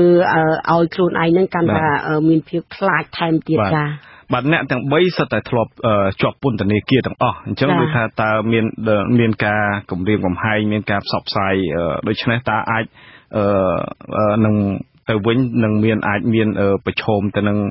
បញ្ហាទូទាត់អីផ្សេងផ្សេងដែរទេមើលទៅអ្នកស្រីអាចសូមជួយអ្នកស្រីបើសុភាពចូលឆវីបាទសូមជឿអឺនិយាយទៅពួកខ្ញុំបានធ្លាប់ជាប់ពន្ធនាគាររិសាយើងខ្ញុំទាំងអស់គ្នាតវ៉ារឿងដីធ្លីនៅតំបន់បង្កក់តែកន្លងមកពួកខ្ញុំមិនដែលបានប្រព្រឹត្តខុសអីទេតែពួកខ្ញុំនៅតែជាប់ពន្ធនាគារអញ្ចឹងមិនថាពួកខ្ញុំមកមកទឹកដីសហរដ្ឋអាមេរិកនេះទេ ទៅវិញមានបញ្ហាអ្វីសម្រាប់ពួកខ្ញុំគឺពួកខ្ញុំមិនដែលភ័យខ្លាចទេដោយសារពួកខ្ញុំមិនបានប្រព្រឹត្តខុសទេគឺពួកខ្ញុំមកគឺមកដើម្បីរកដំណោះស្រាយដើម្បីផ្សព្វផ្សាយជូនអ្នកស្រីទេពនីគាត់កំពុងរងទុក្ខវេទនានៅក្នុងពន្ធនាគារយ៉ាងខ្លាំងដោយគាត់មិនបានប្រព្រឹត្តខុសដោយការចោទប្រកាន់ទៅលើសវត្ថកិច្ចទេអ្នកស្រីទេពនីគាត់មិនដែលបានប្រើហិង្សាទៅលើអ្នកណាទេសូម្បីតាជេរមួយម៉ាត់ឬក៏វាយម្ដាយអត់ទេខ្ញុំគឺ តស៊ូមតិជាមួយអ្នកស្រីទេវនីចិត្តអស់រយៈពេលជិត10ឆ្នាំហើយចាអ្នកស្រីទេវនីគាត់មិនដែលប្រើពាក្យអសរុះណាទេគឺបើសិនជាចោតអ្នកស្រីទេវនីវាយទៅលើកម្លាំងសមត្ថកិច្ចឬអាជ្ញាធរគឺពួកខ្ញុំនឹងស្បត់ដាក់ជីវិតឲ្យខ្ញុំទេវតាប្រាមុខខ្ញុំបាទគឺអ្នកស្រីទេវនីស្អាតស្អំណាស់គាត់តស៊ូដើម្បីដីធ្លីសម្រាប់ជាពលរដ្ឋពួកយើងអស់គ្នានោះចាបាទអឺ តើក្រៅពីស្វែងរកការគ្រប់គ្រងអ្នកស្រីទេពនីនៅក្នុងសហរដ្ឋអាមេរិកឬក៏ការឧបត្ថម្ភដល់អ្នកស្រីទេពនីតើអ្នកទាំង3មានផែនការធ្វើអ្វីទៀតដែរបាទសូមជួយលោកពុទ្ធស័ក្តិបាទបាទក្រៅពីនោះផែនការបន្ទាប់នេះឥឡូវយើងកំពុងតែស្វែងរកការ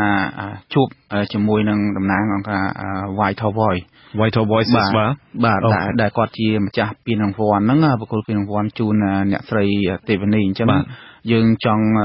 ជួបពិភាក្សាជាមួយគាត់ដើម្បីគ្រប់គ្រងផ្នែកមូលនិធិមួយចំនួន ជួយទៅដល់គ្រួសារអ្នកស្រីទេវនីដែលគាត់ជាបណ្ណាំរបស់អ្នកស្រីព្រោះនៅពេលនេះគាត់កំពុងតែមានការខ្វះខាតមែនទែនសម្រាប់ក្រុមគ្រួសារជាពិសេសគាត់ព្រួយបារម្ភទៅលើកូនគាត់ទាំងពីរហ្នឹងហើយសម្រាប់សកម្មភាពបន្តទៀតយើងនឹង ស្វែងរកការគ្រប់គ្រងពីបណ្ដាសហគមន៍កម្ពុជានៅរដ្ឋអាមេរិកនេះជាបន្តទៀតដើម្បីឲ្យគាត់ជួយគ្រប់គ្រងផ្នែកហិរញ្ញវត្ថុដល់សហគមន៍ក៏ដូចជាអ្នកស្រីទេវនីបាទបាទឥឡូវជាចុងក្រោយសូមម្នាក់មួយម៉ាត់ដោយខ្លីតើអ្នកថ្មីមានសារអ្វីផ្ដាំទៅប្រជាពលរដ្ឋខ្មែរដែលនៅទូទាំងពិភពលោកនោះបាទ ចាសម្រាប់នាងខ្ញុំក៏សូមអរគុណទៅដល់វិសុអស៊ីសេរីហើយក៏ដូចជាអរគុណទៅដល់ពុកម៉ែបងប្អូននៅរស់នៅឯក្រៅប្រទេសតែងតែមិនដែលបំភ្លេចនៅប្រជាពលរដ្ឋខ្មែរមិនដែលបំភ្លេចក្នុងអត្តសញ្ញាណខ្លួនជាខ្មែរអញ្ចឹងខ្ញុំគិតថាសូមពៀវនាងទៅដល់ពុកម៉ែបងប្អូនដែលរស់នៅឯសហរដ្ឋអាមេរិកទាំងអស់នេះសូមជួយគ្រប់គ្រងនិងសហគមន៍បឹងកក់បន្តទៀតចាចាអញ្ចឹងនាងខ្ញុំមានតែប៉ុណ្្នឹងឯងបាទសូមជឿ បាទសម្រាប់ខ្ញុំខ្ញុំសូមអំពាវនាវទៅដល់ប្រជាពលរដ្ឋទាំងអស់ឲ្យចូលរួមនៅក្នុងសកម្មភាពសង្គមជាពិសេសជីវភាពនយោបាយដើម្បីទាមទារឲ្យសង្គមកម្ពុជាហ្នឹងពោពេញទៅដោយការគោរពច្បាប់ហើយក៏សូមអំពាវនាវទៅដល់រាជរដ្ឋាភិបាលផងដែរសូមឲ្យគោរពនៃការគោលការណ៍នៃការអនុវត្តច្បាប់ឲ្យបានអឺ 100%ដើម្បីជំរុញប្រព័ន្ធយុត្តិធម៌អ្វីដែលយើងសំខាន់ខ្ញុំឃើញថាប្រទេសនេះខ្ញុំឃើញថាពោពេញទៅដោយការគោរពច្បាប់និងគោរពយុត្តិធម៌អញ្ចឹងប្រទេសរបស់គាត់ពោពេញទៅដោយសេរីភាពហើយមានជីវធម៌សេចក្តីការថ្លៃថ្នូរហើយគោរពគ្នាទៅវិញទៅមកបាទបាទសូមជឿខ្ញុំក៏សូមអរគុណដល់វិសុស៊ីសេរីព្រមទាំងពុកម៉ែបងប្អូនដែលបានរស់នៅសហរដ្ឋអាមេរិកទាំងអស់ដែលបានគ្រប់គ្រងនិងលើកទឹកចិត្តដល់សហគមន៍នាងខ្ញុំ ហើយក៏សូមឲ្យប្រព័ន្ធតុលាការនៅស្រុកខ្មែរនឹងសូមមេត្តាដោះលែងអ្នកស្រីទេពនីព្រោះគាត់គ្មានកំហុសទេចាសូមដោះលែងអ្នកស្រីទេពនីសូមតុលាការនឹងផ្ដល់យុត្តិធម៌ឲ្យគាត់ឲ្យបានក្នុងពេលឆាប់ឆាប់ហ្នឹងចាបាទសូមអរគុណច្រើនអ្នកទាំងបីដែលបានចំណាយពេលជាមួយនឹងវិទ្យុអាស៊ីសេរីនៅពេលនេះបាទសូមជម្រាបលាបាទសូមអរគុណសូមជម្រាបលាបាទលោកនាងទើបបានស្ដាប់ព័ត៌មានប្រចាំថ្ងៃរបស់វិទ្យុអាស៊ីសេរីដែលផ្សាយចេញពីរដ្ឋធានី Washington សហរដ្ឋអាមេរិកសូម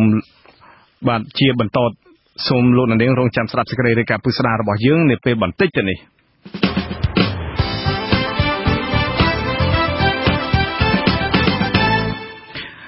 បាទលោកនាងជាទីមេត្រីនៅក្នុងកម្មវិធីផ្សាយរបស់យើងជាបន្តទៅទៀតនេះយើងខ្ញុំមានសេចក្តីរាយការណ៍ស្តីអំពីអ្នកសិក្សាស្រាវជ្រាវផ្នែកបច្ចេកវិទ្យាចង់ឲ្យអ្នកប្រើប្រាស់អ៊ីនធឺណិតនិងបណ្ដាញសង្គមយកចិត្តទុកដាក់ផ្នែកសុវត្ថិភាព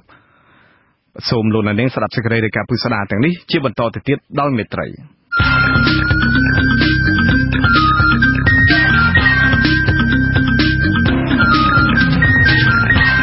តិបណ្ដាញសង្គមនិងបច្ចេកវិទ្យា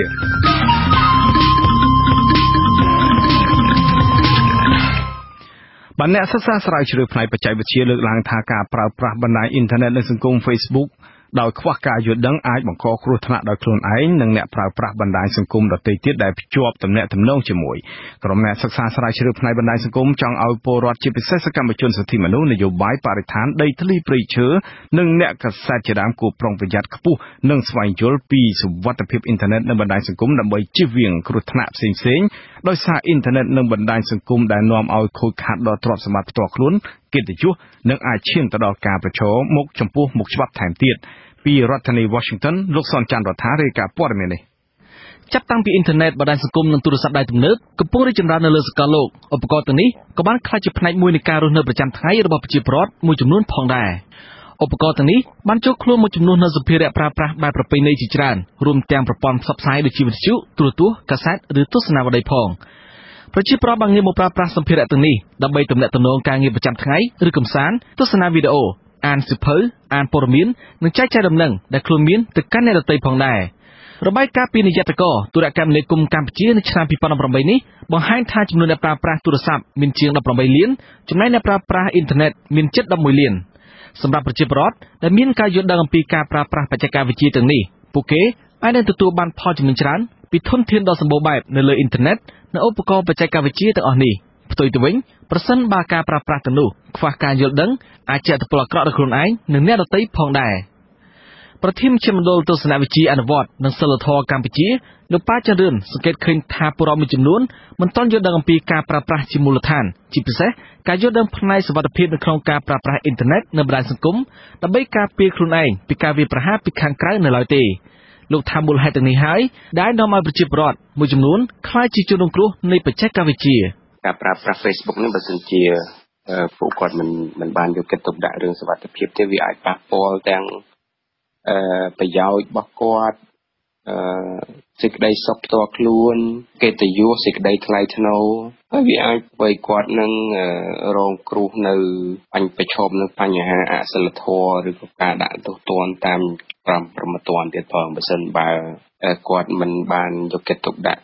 គូអំពីរឿងសុវត្ថិភាពតាមប្រព័ន្ធអ៊ីនធឺណិតនឹងឲ្យបានដិតដល់លោកប៉ាចន្ទរឿនចង់ឲ្យប្រជាពលរដ្ឋដែលប្រើប្រាស់អ៊ីនធឺណិតនិងបណ្ដាញសង្គម Facebook ឲ្យស្វែងយល់អំពីសុវត្ថិភាពឬការការពារខ្លួននិងស្វែងយល់អំពីរូបភាពនៃការបន្លំបោកប្រាស់ នឹងការវាយប្រហារមួយចំនួនរបស់ជនខិលខូចតាមរយៈអ៊ីនធឺណិតនេះអ្នកវាយប្រហារតាមប្រព័ន្ធអ៊ីនធឺណិតបានប្រើប្រាស់គ្រប់រូបភាពដើម្បីអូសទាញអ្នកប្រើប្រាស់អ៊ីនធឺណិតនិងអ្នកលេងបណ្ដាញសង្គមឲ្យធ្លាក់ទៅក្នុងរដាររបស់ពួកគេ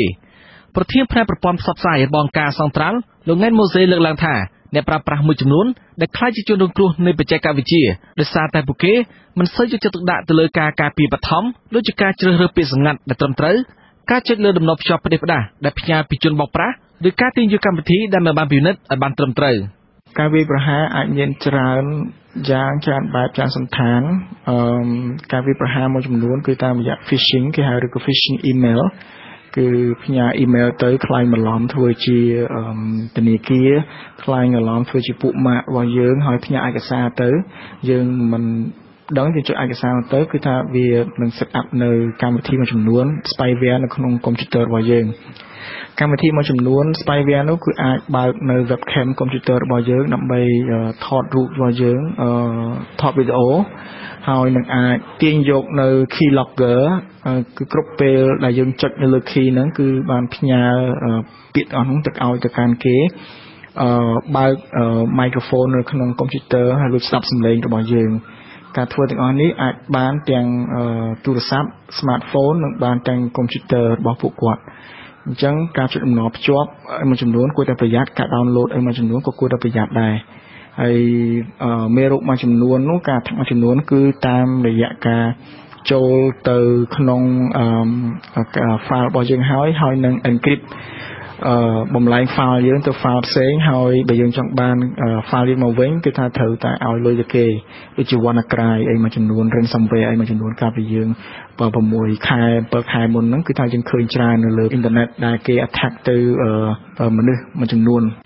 គេក៏សង្កេតឃើញថាជនខិលខូចមួយចំនួនក៏បានប្រើប្រាស់វិធីស្រដៀងគ្នានេះដើម្បីវាយប្រហារទៅលើអ្នកប្រើប្រាស់បណ្ដាញសង្គម Facebook មួយចំនួនផងដែរ ដូចជាការប្រើប្រាស់រូបភាពអាហារភាសឬជារូបភាពនៃព្រឹត្តិការណ៍ដែលគួរតាក់ទាញដើម្បីឲ្យអ្នកលេង Facebook ចង់ទស្សនាប៉ុន្តែនៅពេលដែលអ្នកលេង Facebook ចុចទស្សនាវានឹងបង្ហាញអ្វីផ្សេងខុសពីអ្វីដែលពួកគេបានឃើញឬទាមទារឲ្យលោកអ្នកបញ្ចូលព័ត៌មានគណនីដូចជាអ៊ីមែលលេខទូរស័ព្ទនិងពាក្យសម្ងាត់ឬទាមទារឲ្យដំឡើងកម្មវិធីណាមួយមុនសិនដើម្បីអាចបន្តទស្សនាបាន។ក្រៅពីនេះគេក៏សង្កេតឃើញថាក្រុមអ្នកវាយប្រហារបានប្រើប្រាស់វិធីសាស្ត្រផ្ញើសារទៅកាន់អ្នកលេង Facebook ដែលប្រើប្រាស់គណនី Facebook ដែលអ្នកទើបតែទទួលឬជាគណនី Facebook របស់មិត្តភ័ក្តិឬក៏ជាសាច់ញាតិដែលអ្នកស្គាល់សារដែលក្រុមអ្នកវាយប្រហារផ្សាយមកអាចคล้ายជាដំណឹងរូបភាពឬក៏វីដេអូដែលមានជាប់តាក់ទងទៅនឹងលោកអ្នកឬคล้ายជាការផ្ញើលុយឲ្យអ្នកជាដើមទាំងនេះជារូបភាពមួយចំនួននៃការបន្លំបោកប្រាស់ឬជាការវាយប្រហារដែលគេតែងសង្កេតឃើញមានកើតឡើងនៅលើអ៊ីនធឺណិតនៅបណ្ដាញសង្គម Facebook ប្រធានផ្នែកប្រព័ន្ធផ្សព្វផ្សាយរបស់អង្គការសង្ត្រាល់លោកង៉ែតម៉ូសេលើកឡើងថាដើម្បីការពារខ្លួនកុំឲ្យខ្លាចជាជនរងគ្រោះនៃបច្ចេកវិទ្យាអ្នកលេងអ៊ីនធឺណិតនិងអ្នកលេងបណ្ដាញសង្គម Facebook គួរតែស្វែងយល់អំពីមូលដ្ឋានគ្រឹះផ្នែកសុវត្ថិភាពជាមុនសិនលោកថាអ្នកប្រើប្រាស់គួរតែមានការប្រុងប្រយ័ត្នខ្ពស់ចំពោះការការពារប្រព័ន្ធទូរស័ព្ទការដំឡើងកម្មវិធីនិងការជ្រើសរើសពាក្យសម្ងាត់ដែលត្រឹមត្រូវជាដើមនេះវាគ្រាន់ជាមូលដ្ឋានខ្លីៗទេមានចំណុចមួយចំនួនទៀតគាត់ត្រូវចាំបាច់ត្រូវទៅរៀនបង្ហាញតែម្ដង ហើយដើម្បីជៀសផុតពីបញ្ហាហ្នឹងគឺការការចុចលើដំណភ្ជាប់ការចុចនៅលើកម្មវិធីការ download កម្មវិធីគួរតែប្រយ័ត្ន ទូរស័ព្ទដៃគាត់គួរតែទូរស័ព្ទដៃនិងកុំព្យូទ័រគួរតែមាន lock screen ហើយរាល់ការ install software រាល់ការ install app ដែលទូរស័ព្ទឬកុំព្យូទ័រមិនត្រូវ install ខ្លួនឯងទេគួរតែឲ្យអ្នកបច្ចេកទេសដើម្បី install ឲ្យពួកគាត់ដើម្បីជៀសវាងនៅក្នុងការយើងអត់ចេះយើងចេះតែ install ទៅវាអាចធ្វើឲ្យយើងជាអ្នករងគ្រោះមួយចំនួនហើយ password គាត់គួរតែជា password ដែល strong មានន័យថា password ដែលខ្លាំង អឺ password គាត់គួរតែមានលេខមានអក្សរអឺមានសញ្ញាថុមានសញ្ញាអក្សរធំអក្សរតូចហើយលើសពី10ខ្ទង់ឡើងទៅលោកង៉ែតម៉ូសេបន្ថែមថាប្រសិនបើប្រជាពលរដ្ឋជួបបញ្ហាណាមួយទាក់ទងទៅនឹងអ៊ីនធឺណិតឬបណ្ដាញសង្គម Facebook ប្រជាពលរដ្ឋអាចស្វែងរកជំនួយពីនាយកដ្ឋានប្រឆាំងបទល្មើសបច្ចេកវិទ្យានៃក្រសួងមហាផ្ទៃនិងការិយាល័យឆ្លើយតបបញ្ហាបន្ទាន់នៃកុំព្យូទ័ររបស់ក្រសួងប្រៃសណីនិងទូរគមនាគមន៍ ការសិក្សាស្រាវជ្រាវជាសកលជុំវិញមូលហេតុនៃការវាយប្រហារបង្ហាញថាមូលហេតុនៃការវាយប្រហារធំជាងគេគឺគោលដៅនៅក្នុងការជំរិតទារប្រាក់ការវាយប្រហារដែលកើតឡើងពីផ្នែកខាងក្នុងនៃក្រុមហ៊ុនឬក៏ស្ថាប័ននិងការប្រគល់ប្រជែងផ្នែកនយោបាយឬអាជីវកម្មជាដើមលោកប៉ាចន្ទឿនលើកឡើងថាដើម្បីលើកកម្ពស់ការយល់ដឹងរបស់ប្រជាពលរដ្ឋជុំវិញបញ្ហាបច្ចេកវិទ្យានេះរដ្ឋាភិបាលអង្គការសង្គមស៊ីវិលនិងអ្នកសារព័ត៌មានគួរតែបង្កើនការផ្សព្វផ្សាយឲ្យបានទូលំទូលាយលោកមានជំនឿថានៅពេលដែលប្រជាពលរដ្ឋ បាទលោកនាងទើបបានស្ដាប់សេចក្តីរាយការណ៍របស់លោកសនច័ន្ទរដ្ឋាពាក់ព័ន្ធទៅនឹងបញ្ហា Facebook និងបច្ចេកវិទ្យាផ្សេងៗទៀតលោកនាងកញ្ញាប្រិយមិត្តអ្នកស្ដាប់ជាទីមេត្រីកម្មវិធីផ្សាយរយៈពេល1ម៉ោងរបស់វិទ្យុអាស៊ី